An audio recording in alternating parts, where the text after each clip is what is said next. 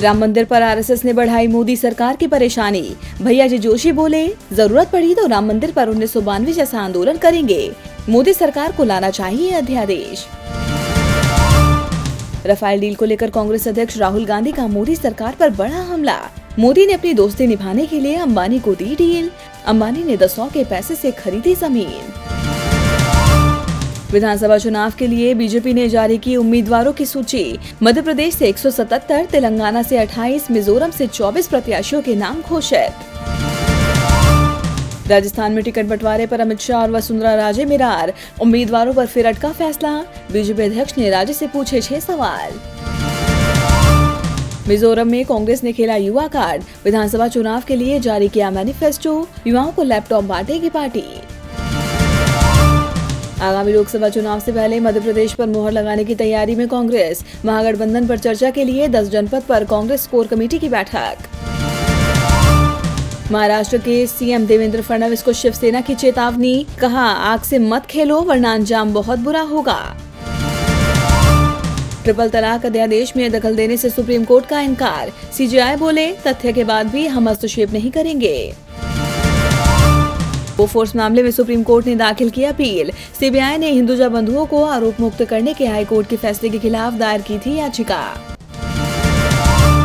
चिदम्बरम के बेटे और पत्नी को मद्रास हाईकोर्ट से राहत। मनी लॉन्ड्रिंग केस में कार्ति और चिदम्बरम की पत्नी के खिलाफ मुकदमा चलाने का आदेश रद्द।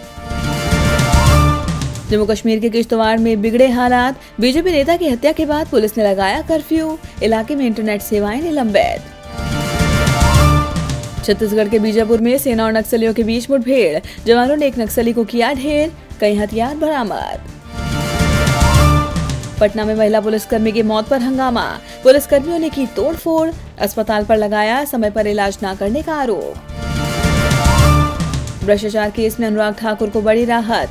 धर्मशाला स्टेडियम में अनियमितता बरतने के आरोप में सुप्रीम कोर्ट ने खारिज किया एफआईआर। बर्फ़ की चादर से ढका जम्मू कश्मीर, सोनमर्ग में हुई बर्फबारी। सैलानियों ने मौसम का उठाया लुत्फ।